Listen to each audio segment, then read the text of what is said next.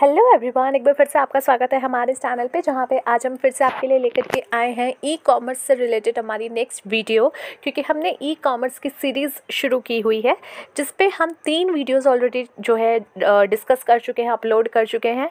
In a very first video we have discuss what e commerce actually is जो आपका e commerce है, जिसको हम इलेक्ट्रॉनिक कॉमर्स के शॉर्ट फॉर्म में यूज़ करते हैं, उसका मतलब क्या होता है? उसके बारे में डिटेल हमने जो है आइडिया थोड़ा सा लिया था। In this second video we have discussed about the e-commerce web portal as well as e-commerce software which is also an important questions for your exams. And in the third video हमने discuss किया था why e commerce is important और you can say what is the need of e commerce या क्यों इसकी importance थी। तो इसके बारे में ऑलरेडी डिस्कस कर लिया है। दिस इज़ फोर्थ वीडियो जहाँ पे हम बात करेंगे इवेल्यूएशन ऑफ़ ई कॉमर्स की। एग्ज़ाम के पॉइंट ऑफ़ व्यू से ये टॉपिक भी आपका बहुत इंपॉर्टेंट है क्योंकि यहाँ पे आपसे सीधा सीधा क्वेश्चन पूछा जा सकता है कि कैसे ई कॉमर्स ने जो है दुनिया में या फिर जो है ग्लोबली चीज़ों को चेंज किया है। इस तरीके से ये क्वेश्चन पूछा जा सकता है।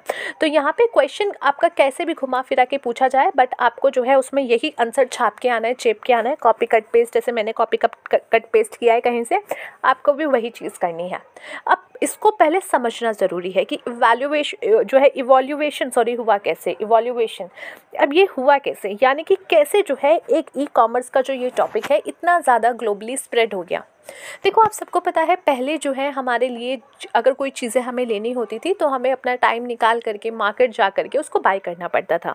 लेकिन ई कॉमर्स ने इस चीज़ों को बहुत ज़्यादा बेनिफिशियल बना दिया है कन्वीनियंस बना दिया है कन्वीनियंट बना दिया है फॉर बोथ पीपल चाहे वो कंज्यूमर हो या फिर आपका बिज़नेस हो। बिज़नेस के लिए कैसे ईजी है? क्योंकि वो अब जो है मार्केट उनका खुल गया है मार्केट उनके लिए सिर्फ़ अपना नुक्कड़ की एरिया नहीं रह गई है या फिर एक पर्टिकुलर एरिया नहीं रह गया है, वो पूरी दुनिया, पूरा देश जो है उनका मार्केट बन गया है। वो एक जगह से बैठ करके अपने प्रोडक्ट्स को कहीं भी बेच सकते हैं। And same as consume for consumers consumers के लिए अब जो है मार्केट एक लिमिट नहीं रह गया है। उनके लिए भी मार्केट पूरी दुनिया हो गई है। वो जहाँ से जब चाहे, जितना चाहे, जो चाहे खरीद सकते हैं।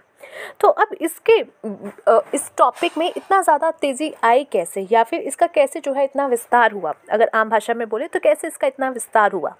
So e commerce has evolve significantly Since its inception in the 1990s, here are some key milestone in the evaluation evaluation of e-commerce. मैं बार बार evaluation बोल रही हूँ और मैं गलत word यूज़ करती हूँ। नेक्स्ट फ़र्स्ट पॉइंट जो है वो है एमर्जेंस ऑफ़ द इंटरनेट सबसे पहला रीज़न ये ई e कॉमर्स के इतने विस्तार का ये है कि इंटरनेट की अवेबिलिटी या फिर इंटरनेट का बहुत तेज़ी से फैलना। आप सबको पता है पहले इंटरनेट मैं आपका तो नहीं जानती पर मैं अपनी बात करती हूँ। When I was in tenth standard in 2013 ठीक है उस टाइम पे एक ना छोटा सा पैक आता था for thirty five rupees forty rupees या समथिंग रुपीज़ का और उसका ना हमें महीने भर तक का उसमें मैसेज पैक मिलते थे या फिर जो है आपके आ, कह सकते हो कि नेट मिलता था और वो महीने का एक से दो जी मिलता था।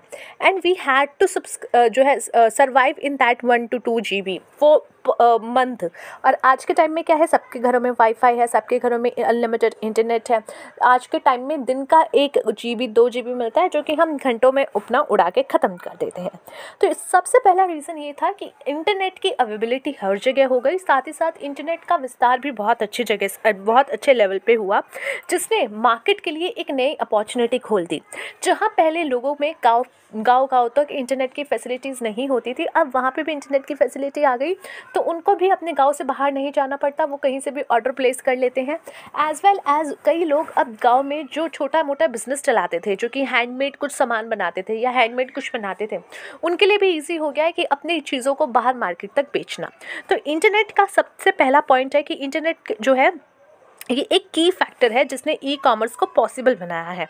In the early nineteen nineties the internet become widely available to public nineteen nineties में जो है इंटरनेट जो है वाइडली अवेलेबल हुआ पब्लिक तक और बिज़नेस जो है स्टार्ट हुए एक्सपेरिमेंट करना कि कैसे सेल करते हैं, कैसे ऑनलाइन सर्विसेज़ देते हैं।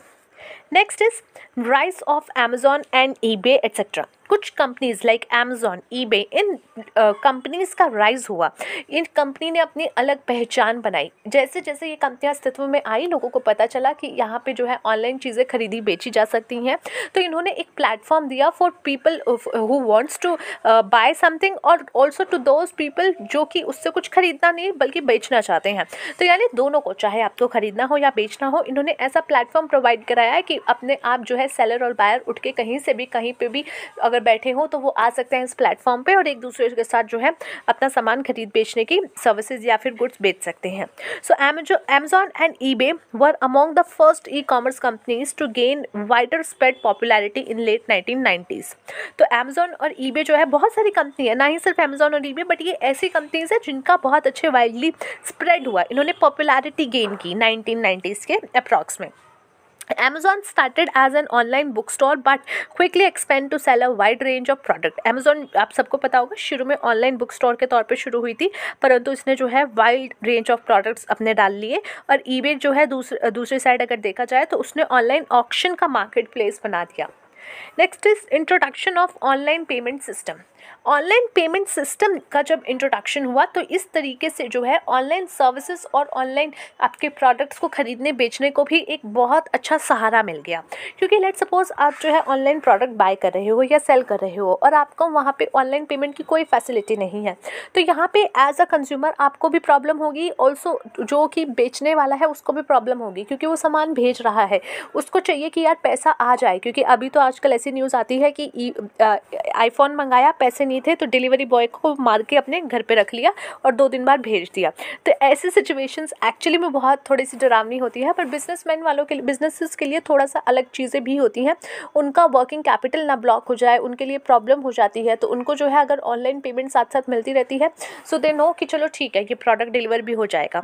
तो यहाँ पर ऑनलाइन पेमेंट सिस्टम जैसे एक मेजर चैलेंज था, क्योंकि पहले इतना ज़्यादा ऑनलाइन पेमेंट्स का सिस्टम नहीं था तो वो एक चैलेंज के तौर पे था। तो यहाँ पे जब ऑनलाइन पेमेंट सिस्टम को भी बूस्टअप मिला तो यहाँ पे ई कॉमर्स का भी एक अच्छा अपॉर्चुनिटी मिल गया है। आजकल तो अगर आप देखो तो रिक्शे वाले भी और छोटे छोटे जो मतलब एरियाज़ होते हैं टेन ट्वेंटी रुपीज़ भी अब वो जो है ऑनलाइन पेमेंट पे एक्सेप्ट करते हैं। So in the early date of e commerce Payment processing was a major challenge. However, the introduction of online payment systems such as PayPal and Google Checkout uh, made it easier for business and customer to transact online. Next is mobile commerce. The rise of smartphone and mobile devices has had a significant impact on e-commerce. I'll tell you again. I'm giving you the example of actual मेरी uh, मेरा example ठीक है uh, जब हम छोटे थे ना when I was in second standard I think ठीक है हमारे घर पे दो फ़ोन होते थे एक लैंडलाइन का और एक छुटकू सा नोकिया का तो उस टाइम पे फ़ोन का मतलब ख़रीदना was a big thing for every middle class family ठीक है बट अब क्या हो गया है? अब तो हर घर में, हर बच्चे के हाथ में एक अलग इंडिविजुअल फ़ोन आ गया है। तो इसने कहीं ना कहीं उन लोगों को जो कि बाय करना चाहते हैं सेल करना चाहते हैं, उनको एक हाथ में डिवाइस दे दिया है इंटरनेट दे दिया है और प्लेटफॉर्म्स ऑलरेडी अवेलेबल हैं। तो यहाँ पे एक जो मोबाइल कॉमर्स का राइज हुआ, जो मोबाइल कॉमर्स बढ़े मोबाइल्स बढ़े तो वहाँ पे इससे बिज़नेस को भी एक बूस्टअप मिला क्योंकि मोबाइल मिलने के कारण उनको पता चला कि इसके कितने सारे यूजेस हैं और इसको कितने डिफरेंट डिफरेंट वे में यूज़ करके जो है बेनिफिट लिया जा सकता है।